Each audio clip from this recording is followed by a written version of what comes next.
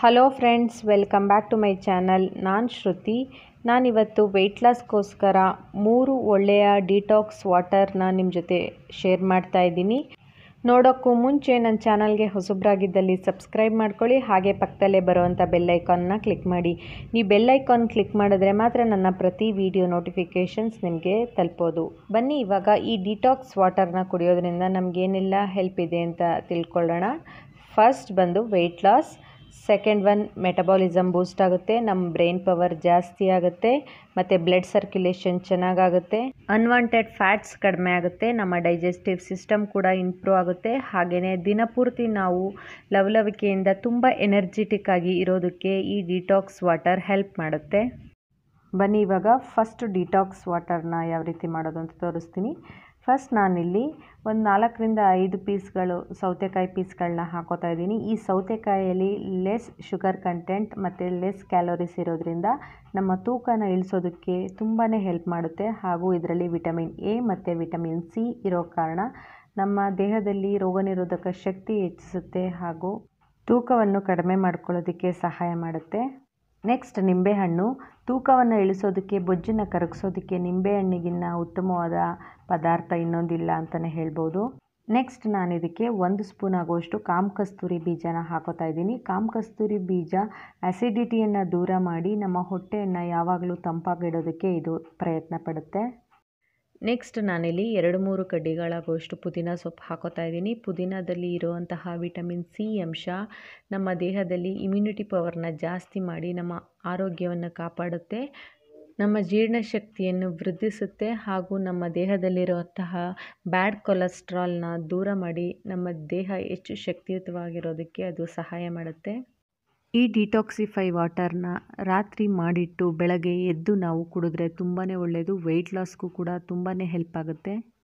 In case ನಮಗೆ ರಾತ್ರಿ ಮಾಡೋಕ್ಕಾಗಲಿಲ್ಲ, ನಾವು ಬೆಳಗ್ಗೆ ಸ್ಕಿಪ್ ಮಾಡಿದ್ವಿ, ಕುಡಿಯೋಕ್ಕಾಗಲಿಲ್ಲ ಅಂತ ಹೇಳಿದ್ರೆ, ಸಂಜೆ ಟೈಮ್ ಮಾಡಿಟ್ಟು minimum four to five hours ಆದರೂ ಇದನ್ನು ರೆಸ್ಟ್ ಮಾಡಿ, ರಾತ್ರಿ ಊಟಕ್ಕೂ ಮುಂಚೆ, ಅರ್ಧ ಗಂಟೆ ಮುಂಚೆ ಈ ಡಿಟಾಕ್ಸಿಫೈ ವಾಟರ್ನ ಕುಡಿಬಹುದು.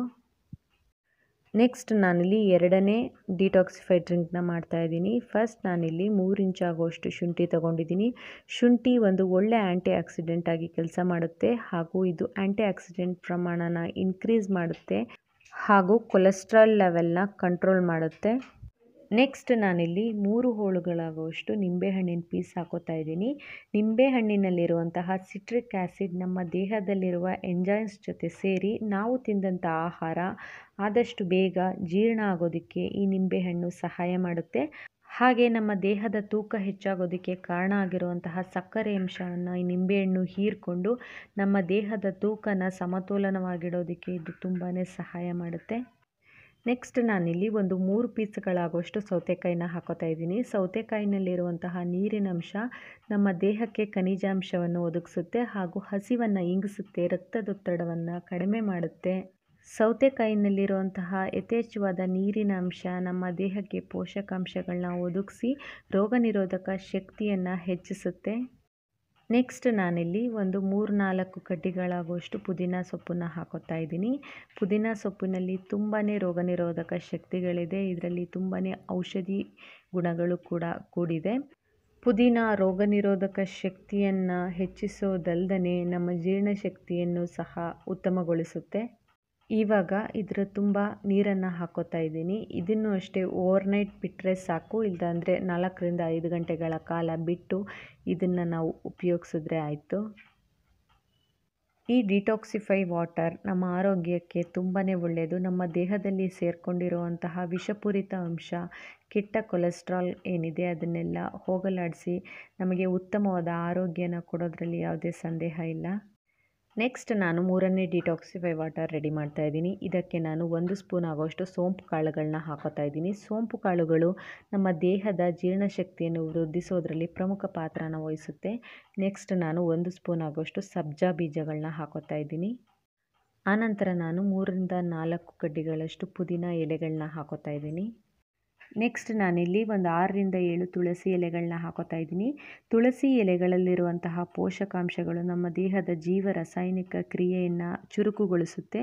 ಜೀವ ರಾಸಾಯನಿಕ ಕ್ರಿಯೆಗಳು ಚುರುಕಾದಂತೆ ನಮ್ಮ ದೇಹದಲ್ಲಿರುವಂತಹ ಕ್ಯಾಲೋರೀಸ್ ಕೂಡ ಆದಷ್ಟು ಬೇಗ ಕಡಿಮೆ ಆಗುತ್ತೆ. ನೆಕ್ಸ್ಟ್ ನಾನಿಲ್ಲಿ ಒಂದು ಎರಡು ಇಂಚಾಗುವಷ್ಟು ಚಕ್ಕೆನ ಹಾಕೋತಾ ಇದ್ದೀನಿ.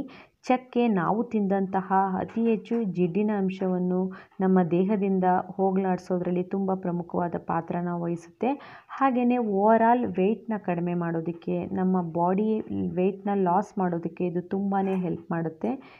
ಇವಾಗ ನಾನು ಈ ಬಾಟಲ್ ತುಂಬ ನೀರನ್ನ ತುಂಬ್ತಾ ಇದ್ದೀನಿ. ಇದನ್ನು ಅಷ್ಟೇ ರಾತ್ರಿ ಮಾಡಿ ಬೆಳಗ್ಗೆ ಕುಡಿಬಹುದು. ಇಲ್ಲ ಅಂತಂದರೆ ಒಂದು ಫೋರ್ ಟು ಫೈವ್ ಅವರ್ಸ್ ಇದನ್ನು ರೆಸ್ಟ್ ಮಾಡಿ ಆಮೇಲೆ ಕುಡಿದ್ರೆ ತುಂಬ ಉತ್ತಮ. ಈ ಡಿಟಾಕ್ಸ್ ವಾಟರ್ನ ಸೆವೆನ್ ಡೇಸ್ ತಗೊಳ್ಳೋದ್ರ ಜೊತೆಗೆ ಒಂದು ಒಳ್ಳೆ ಡಯಟ್ ಪ್ಲ್ಯಾನ್ನ ನೀವು ಫಾಲೋ ಮಾಡಿದ್ರೆ ಮಾತ್ರ ಇದರ ಬೆಸ್ಟ್ ರಿಸಲ್ಟ್ ನಿಮಗೆ ಗೊತ್ತಾಗ್ತಾ ಹೋಗೋದು.